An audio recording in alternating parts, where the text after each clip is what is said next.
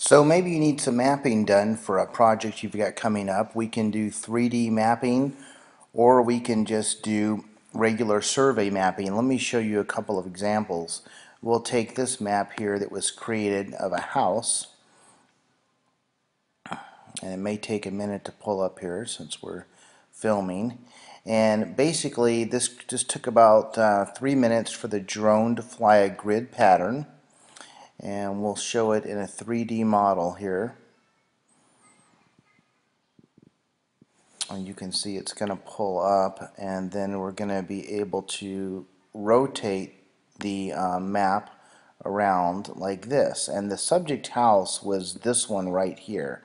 And so the drone flew um, like I said a, a, grid pattern. And only flew about four passes but it took about a 70% overlap and then we had it fly a couple of extra passes and we took a, a, a, picture on the ground as a ground reference point and then we took a couple extra passes to get uh, some of these overhangs and things like this shown in here.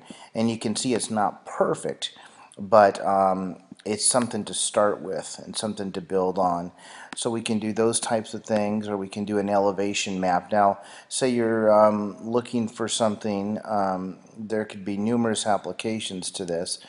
Um, this is what the base map, oops, this is what the base map looked like. Well, it's not going to work for me.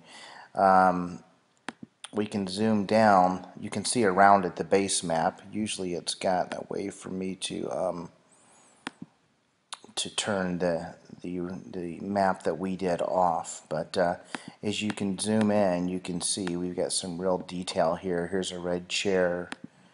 Um, here I was staying here with the controller for the drone.